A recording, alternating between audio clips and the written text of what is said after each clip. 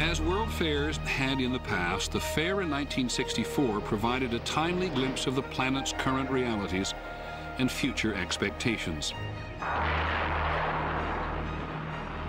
The New York Times described it as a glittering mirror of our national opulence. It seemed to portend a future where the biggest worry for average Americans would be how to spend their leisure time. I just took it for granted that I, you know, I'd always have a roof over my head and enough to eat. The thought that I'd have to worry about where my next meal was coming from, these thoughts just didn't occur to me. But of course, part of the reason we could think that way is that we took prosperity more or less for granted. In his speech at the World's Fair, President Lyndon Johnson touted a world of prosperity. But that people, people, they shall have the best. All of these breeds. Only to find himself interrupted in mid-speech by demonstrators who felt themselves frozen out of the world.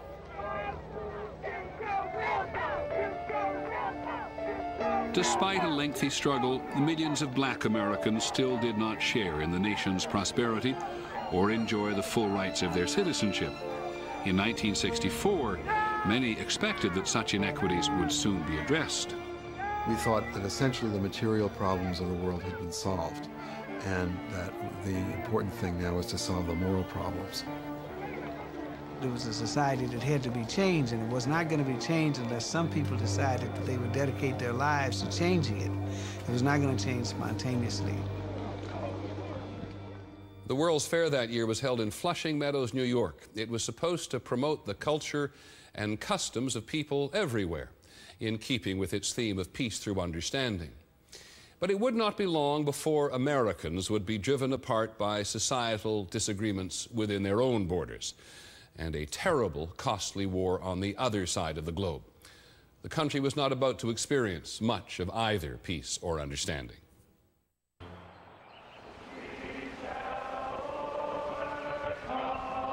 In the mid-1960s, the determination to challenge traditional boundaries seemed to be growing in almost every arena. Perhaps most striking was a broadening struggle for civil rights, a struggle that many whites now joined in large numbers. In the summer of 1964, hundreds of college students, white and black, headed south to Mississippi, where many blacks were still mired in a Jim Crow world of poverty and political impotence. These students from the North hoped to register black voters and establish so-called freedom schools to teach literacy skills to those who'd been denied them. They were traveling into a world where many people were set in their ways. President Lyndon Johnson warned the students that the federal government could not guarantee their safety. They received a lot of training to, in order to prepare them for life in Mississippi, which was not going to be very easy. It wasn't easy for us, and we tried to make that very clear to people. I mean, our lives are, on, eh, eh, you know, are in imminent danger every every minute of the day. When we crossed the line into Mississippi, and it said, Mississippi welcomes you, it was the first time I felt really afraid. In the first group to arrive in Mississippi were students Andrew Goodman, Michael Schwerner, and James Chaney.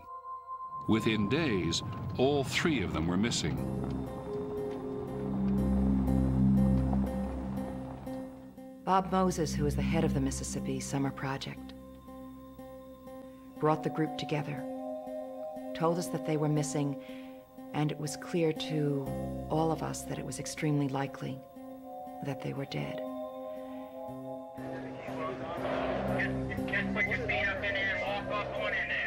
Six weeks after their disappearance, the three were discovered buried in an earthen dam, shot in the head.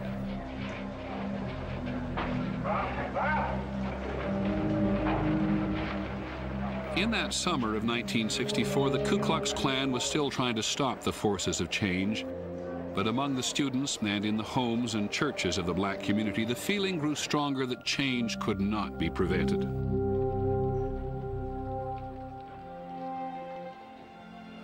We went up to the home of a very poor black woman, sharecropper shack. She had a bunch of kids. She came to the door, she looked at her feet, she said, Yassam, Noam, to everything we said. And we tried to persuade her to sign this. And it was very clear if she signed it, she might get thrown out of her home. After a few minutes of talking, she suddenly straightened up, looked us in the eyes, and said, I'll sign it. And she signed it. That's how powerful the movement was.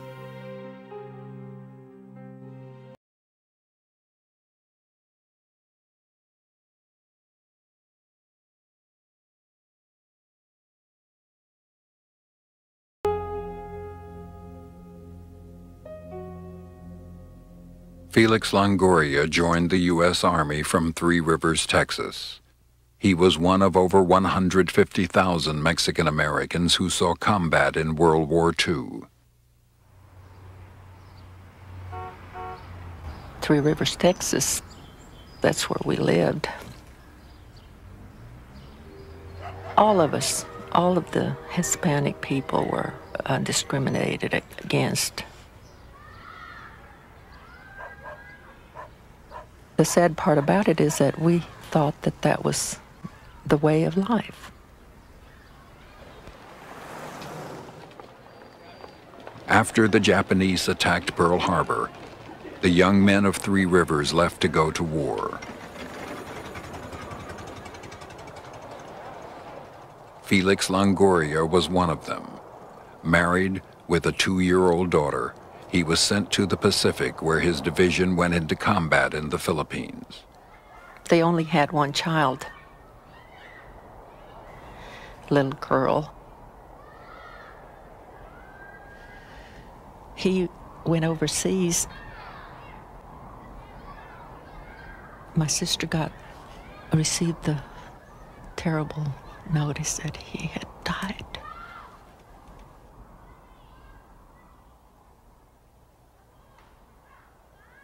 She went to Three Rivers to make arrangements for his uh, body to be brought home.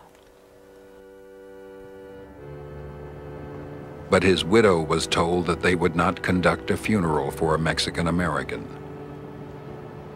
The funeral director, he said, we cannot do that because the whites will not like that. This is not right. He is being refused a place to, to lay his body.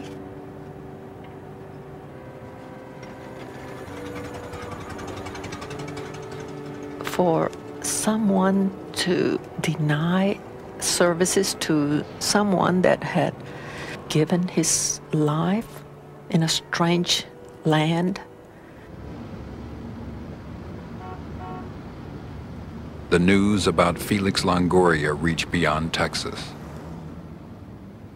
And it was arranged for his body to be shipped 1,500 miles to Washington and Arlington Cemetery.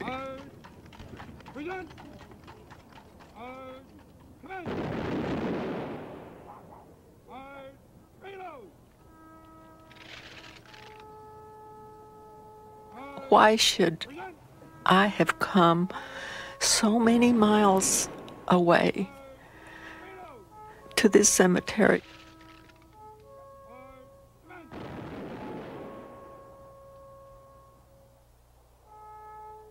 How many Felix Longoria cases must have gone unheard of?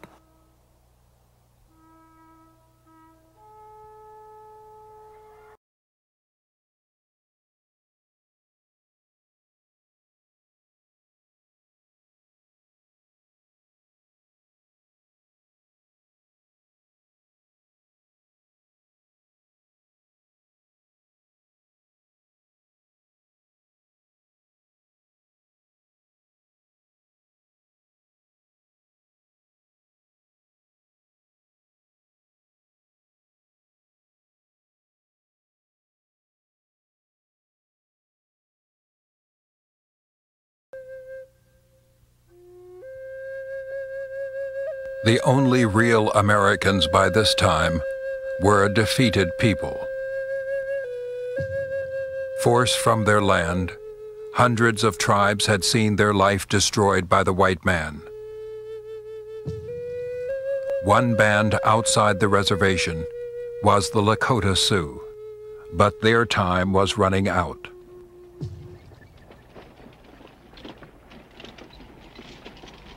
With their women and children dying of disease and hunger, they moved toward the Pine Ridge Reservation.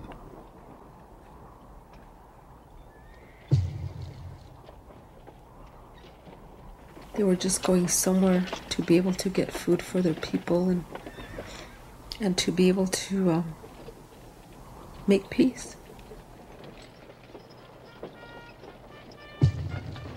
Army had a cavalry posted all around them.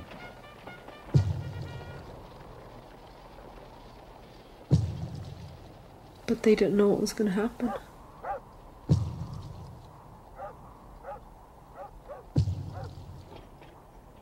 They didn't know if they were going to make it back.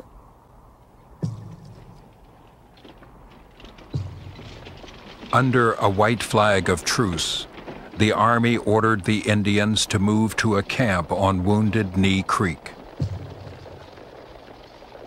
The soldiers were ordered to take all weapons out of Indian hands. A gun discharge.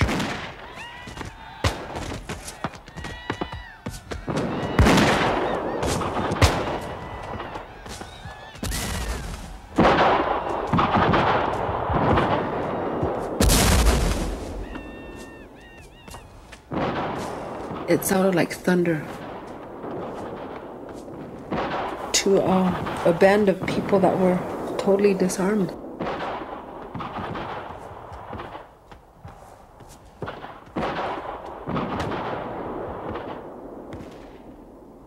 Women,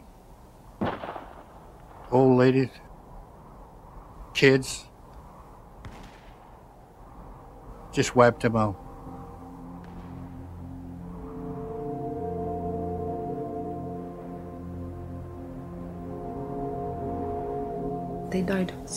Terrible deaths.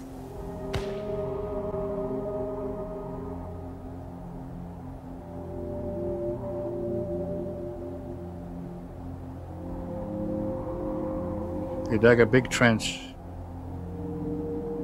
just tossed them in there. They killed them all.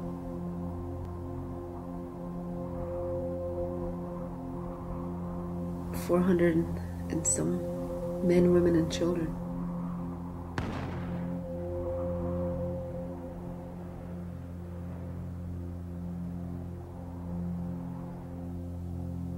Bigotry, prejudice made his dent into the new world.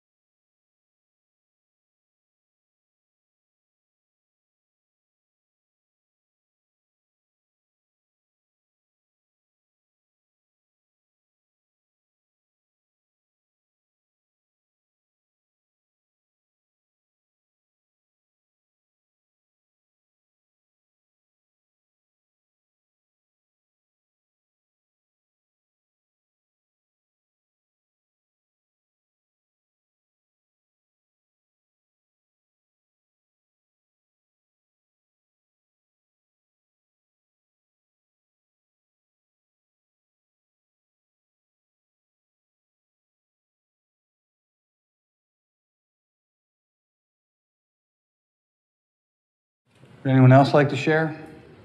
How about you in the back with the glasses, sir? My name's Bobby, and I am an addict. Hey, Bobby. Hi, Bobby. You know, you folks aren't here because you're gamblers.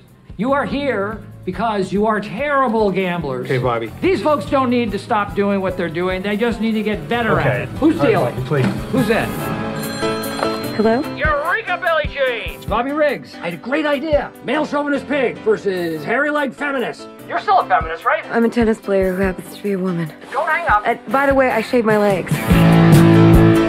Billie Jean King, already a champion of women's rights, is now the most successful female player of all time. I am not saying that women don't belong on the court.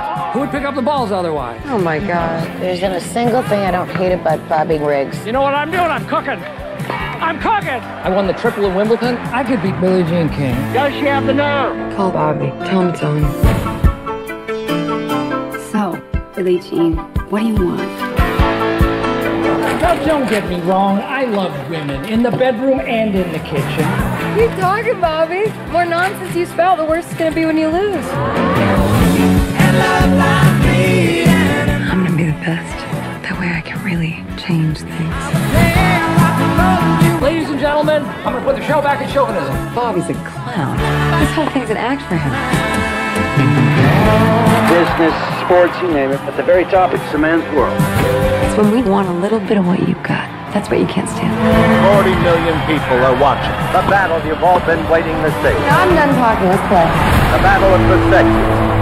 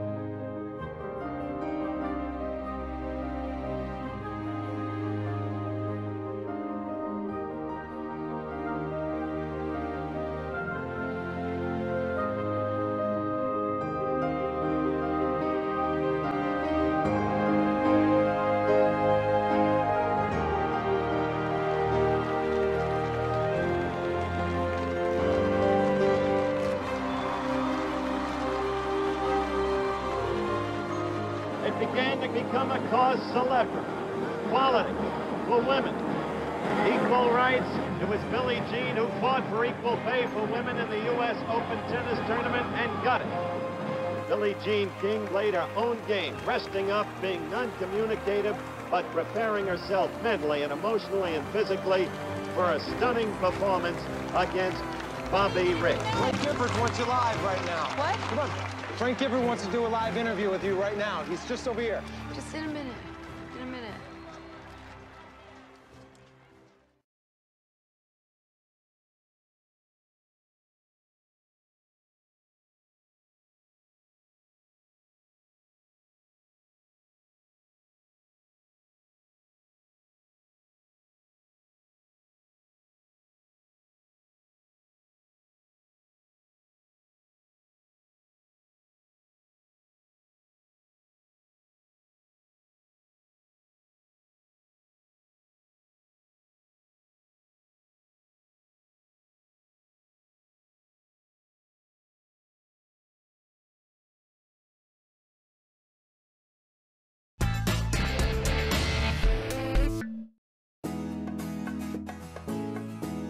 Oprah Winfrey was born in Mississippi to unwed teenage parents in 1954. After a difficult adolescence living with her mother, she came under the supervision of her strict father in Nashville. The public learned years later just how difficult those times were when she revealed on her show that she was sexually abused as a child by male relatives and friends of her mother. Things improved for Oprah when she turned 18 and won the Miss Black Tennessee beauty pageant. The win led to a part-time news position on a black radio station. In 1976, she moved to Baltimore to host a program called People Are Talking. After eight years on the show, she was recruited by a Chicago TV station to do AM Chicago, which would eventually become The Oprah Winfrey Show. Oprah's popularity led to a role in the Steven Spielberg film The Color Purple, for which she earned an Academy Award nomination. By 1986, The Oprah Winfrey Show was syndicated on over 100 channels across the country. She was a phenomenon. Oprah's great talent is understanding where middle America is. The Oprah Show has never been about elitism. It's been about reaching the broad section of where American middle class, middle American women are. A year later, her top rated talk show, which was owned by her production company Harpo, was bringing in $125 million a year. Although her show looked similar to her competitors, Oprah did offer something unique. While other daytime gabfests focused on trashy topics, Oprah stayed above the fray, focusing on self help issues. Her approach worked, as millions of viewers began hanging on her every word. As impressive as her top rated show was, what makes Oprah truly unique is the influence she has over her fans. When she started Oprah's book club, just about every title she selected shot to the top of the bestseller list. She would appear on Time magazine's most influential people list every year from 2004 through 2007. In 1999, the Oprah brand continued to grow as she co-founded Oxygen Media, dedicated to programming for women, and introduced O Magazine, which became an instant success. As Oprah's influence grew, so did her bank account, as she became a billionaire and the richest self-made woman in America, according to Forbes. Oprah Winfrey is an incredibly talented and charismatic entrepreneur. In 2007, Oprah opened the South African Leadership Academy for Girls, but the school was soon the center of a sexual abuse scandal. Oprah used her typical hands-on approach to make sure the screening process for staff was changed and improvements were made. As her empire continues to grow, with magazines, radio channels, and the Oprah Winfrey Network, this media icon has achieved a level of success and influence like nothing ever seen before in popular culture.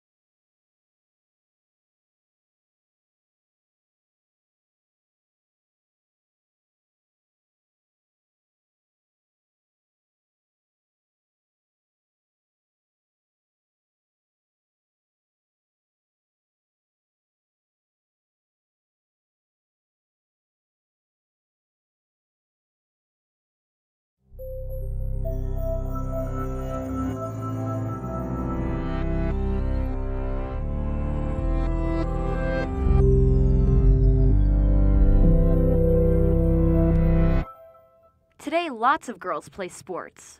But for a long time, girls were not encouraged to kick, throw, run, jump, shoot, slide, or hit like boys. So why did things change? And how much have they changed? Are girls and boys treated equally when it comes to sports? To begin to answer these questions, we have to look back. In 1972, Congress passed a law called Title IX, which protected girls and women from discrimination in schools, colleges, and universities. This included discrimination in school sponsored sports. At that time, only 15% of college athletes were women, and in high schools, only 7% of athletes were girls. Female athletes didn't get a lot of support either, and often had to provide their own uniforms and equipment. It was Title IX that forced school administrators to make sports more equal. But what does equal mean in sports? The government developed rules to measure equality under two general categories participation and treatment. In the early days of Title IX, the number of girls playing sports was so low that it would have been very difficult for schools to suddenly provide exactly the same number of opportunities for girls and boys. Instead, the government wrote rules that gave schools three options, or tests, to demonstrate fairness and opportunities for girls. The three tests are proportionality, progress, and satisfied interests. A school can pick which test to follow. Proportionality means that girls should receive the same percentage of athletic opportunities as the percentage of girls in the student body. So if 51% of students are girls, then girls should have approximately 51% of the opportunities to play sports.